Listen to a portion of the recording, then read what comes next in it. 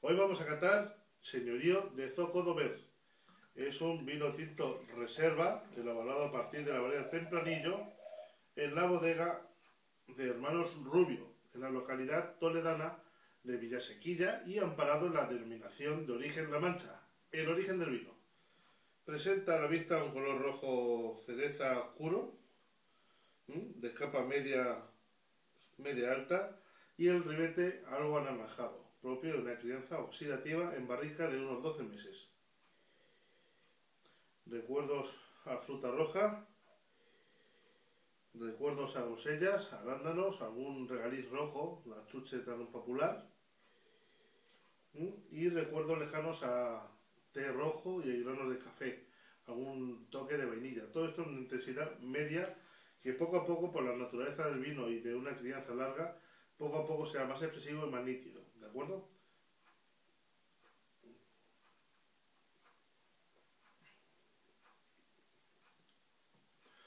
Tiene un vaso fresco, un peso medio,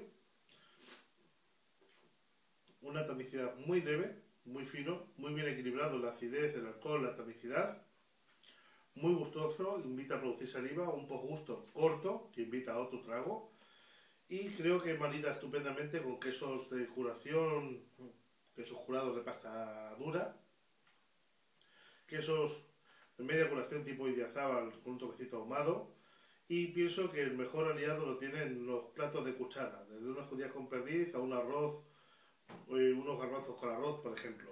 Las carnes rojas también serían un buen maridaje. Y sobre todo disfrútese en una copa decente, a una temperatura de 17-18 grados y obsérvese cómo evoluciona y tómese siempre que se pueda de buen humor y en buena compañía. Salud y mucha mancha.